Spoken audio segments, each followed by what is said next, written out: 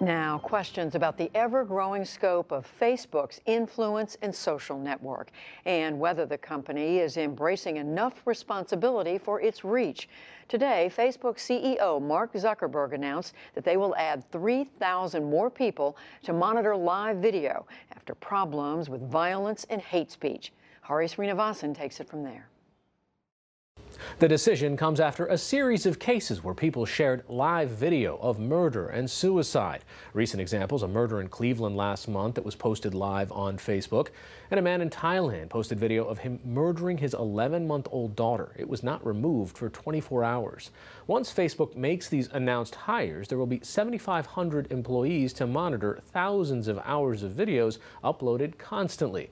Farhad Manjoo is a tech columnist for the New York Times who has been closely covering Facebook. He joins me now to talk about this issue and other questions facing the company. Farhad, so let's first, uh, today's news, how significant is this? I think it's significant. I mean, it's, uh, it's a significant sort of step up in uh, their ability to monitor these videos, and it should help. Uh, the, way, the way it works is uh, there's lots of videos going on on Facebook all the time. If somebody sees something that looks bad, that looks uh, like it may be criminal or some other you know terrible thing, um, they flag it, and the flagged videos go to these uh, reviewers. And just having more of these reviewers should make the whole process faster. Um, so it should help. Uh, I mean, I think the question is why it took them a year to do this. And put the scale in perspective here. If they have 1.2 billion active users a uh, month or whatever it is that they uh, talk about, even at one half of 1%, if they wanted to harm themselves and put this on Facebook, that's 6 million people. How do these 7,000 stop that? Yeah, I mean, the way that tech companies generally work is they manage scale uh, by, you know, leveraging computers, basically. There's a lot of kind of algorithmic stuff that goes into uh, um, making sure they try to they try to uh, you know cut down the pool that the um, the human reviewers have to look at. And and there is some experience in this in in the valley. I mean, uh, YouTube has had to deal with this sort of thing for years, and the way they've uh, really come around to doing it is is a similar process. Like they have thousands and thousands of hours of videos uploaded essentially every minute, um, and they count on kind of the viewers to flag anything that's terrible, and then mm -hmm. it mm-hmm. goes to these human reviewers. So it's a process that can work. The difficulty in Facebook's case is it's live video, so they have to get it down much more quickly, um, and so it, it's you know it's possible that they may need more people or some other uh, you know, algorithmic solution. But I think this is a, you know, it should be an improvement over what they have now.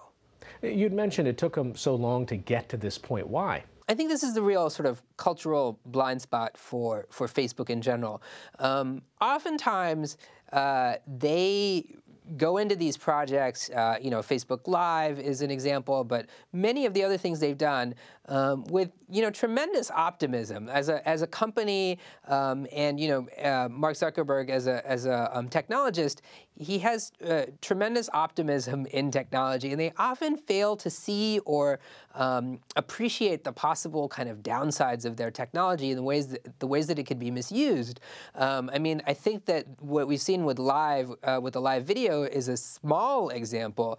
Uh, the way that Facebook has sort of affected elections, the way that you know the fake news problem we saw in the U.S. Uh, election, the way it's been used as a tool for propaganda in various other parts of the world. Um, you know, those are huge huge examples of, uh, you know, what looked like a fairly simple solution technologically, like we're going to uh, get everyone connected and have them share uh, share the news. Uh, you know, it, it, brings some real deep, like, social questions that they are only lately beginning to confront in a serious way.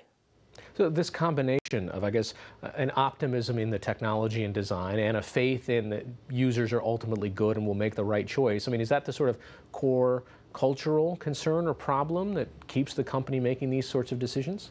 That's part of it. And and the other thing to remember is, you know, they're a technology company and and speed is of the utmost concern for them. Uh, one of the things that was happening in the tech industry last year is that a whole bunch of other companies were rolling out live video systems, and Facebook didn't want to be left behind.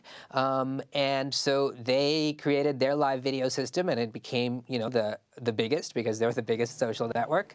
Um, but with that sort of size comes, uh, you know, an increased opportunity opportunity for misuse and more power, right? Like a video on Facebook that can be seen by, uh, you know, potentially much more people has has a lot more potential for for being misused. And I think they. Um, I, I, it's not right to say that they don't consider those things, but it's it seems like they, it's on the it's on a back burner for them. Um, and I think what's happening uh, at Facebook uh, is a shift toward uh, thinking about these issues at an earlier stage. Um, and we've really seen this more recently in in their work with the, the news industry. I mean, after the mm -hmm. after what happened in, after what happened in the election and the kind of controversy about fake news, uh, they've started to, uh, they've rolled out a bunch of initiatives to do stuff uh, to improve how news is seen on yeah. Facebook. They've added fact checkers and other things. Um, so I think their attitude is changing, but it may be changing, you know, too slowly uh, compared to how quick the technology they're rolling out is changing. All right, Farhad Manjoo of the New York Times. Thanks so much. All right, great. Thanks so much.